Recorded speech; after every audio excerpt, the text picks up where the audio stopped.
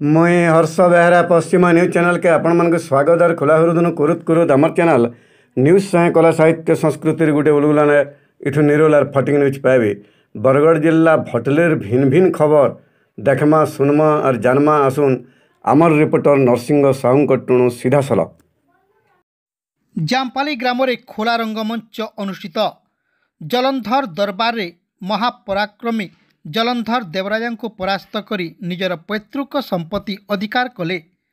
Bhatli block ଅନ୍ତର୍ଗତ ଉର୍ଦୁନା ଗ୍ରାମ ପଞ୍ଚାୟତର ଜାମ୍ପାଲି ଗ୍ରାମରେ ପ୍ରଥମେ ମହାରାଜ ଜଲନ୍ଧର ଦରବାରକୁ ଆସିବା ପୂର୍ବରୁ ଏକ ସୁସଜ୍ଜିତ ରଥରେ ନଗର ପରିକ୍ରମା କରିଥିଲେ। ଗ୍ରାମବାସୀଙ୍କ ଦ୍ୱାରା ତାଙ୍କୁ ସ୍ୱାଗତ କରାଯାଇଥିଲା। ଖୋଲା ରଙ୍ଗମଞ୍ଚର ରାଜଦରବାରରେ ଆଜି ବ୍ରହ୍ମାଙ୍କ ଠାରୁ ବର ପ୍ରାପ୍ତି ହେବା ପରେ ଜଲନ୍ଧର ମହାରାଜ ସିନ୍ଧୁ ରାଜ୍ୟରେ ରାଜା ହୋଇ ଅଭିଶପ୍ତ ହୋଇଥିଲେ।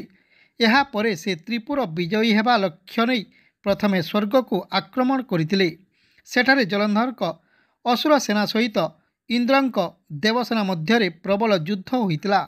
ଶେଷରେ ମହାପରାକ୍ରମୀ ଜଲନ୍ଧର ଦେବରାଜାଙ୍କୁ ପରାସ୍ତ କରି ନିଜର ପୈତୃକ ସମ୍ପତ୍ତି ଅଧିକାର କରିଥିଲେ।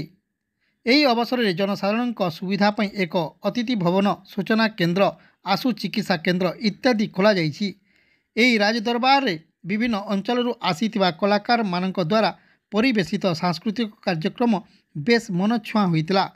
ଗ୍ରାମର ଆଖପାଖ ଅଞ୍ଚଳ ତଥା ପଡ଼ୋଶୀ ଛତିଶଗଡ଼ ଅଞ୍ଚଳରୁ ହଜାର ହଜାର ଦର୍ଶକଙ୍କ ସମାଗମ ହୋଇଥିଲା।